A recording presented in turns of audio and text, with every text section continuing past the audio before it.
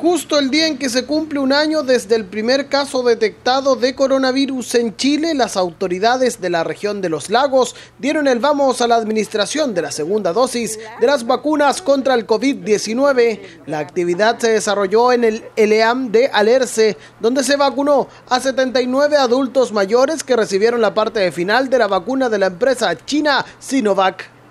Y en este caso en particular con uno de los poblaciones objetivos más importantes que tenemos, que son los adultos mayores.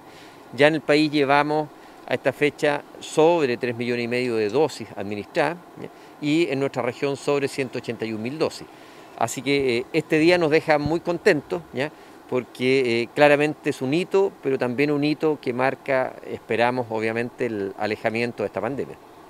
El proceso de vacunación ha demostrado en aquellos países que van eh, más adelantado temporalmente que nosotros, que no son muchos, eh, Chile está en el grupo de elite en vacunación, de que eh, la vacuna es efectiva, es segura, lo cual nos deja muy contentos.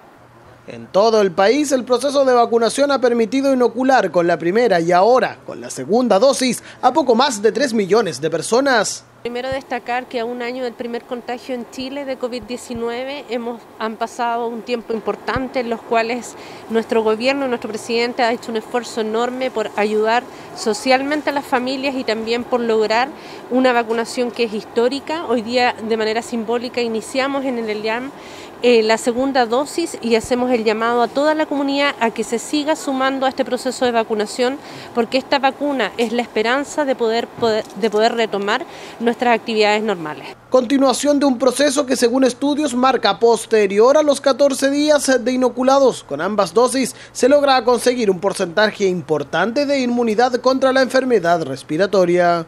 Acá hay dos cosas que son importantes. Uno es eh, la cantidad de anticuerpos o de reacción inmune que yo genero con una vacuna, con una primera dosis de vacuna. Esta es real, ¿ya?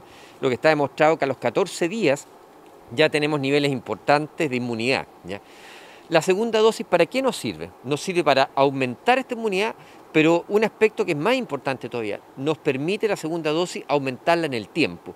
Hay muchas vacunas que requieren dos dosis y es básicamente por eso, aumentar el nivel de inmunidad y que éste dure más. No, no, no, no queremos una vacunación que dure algunos meses la inmunidad, ojalá que dure muchos años.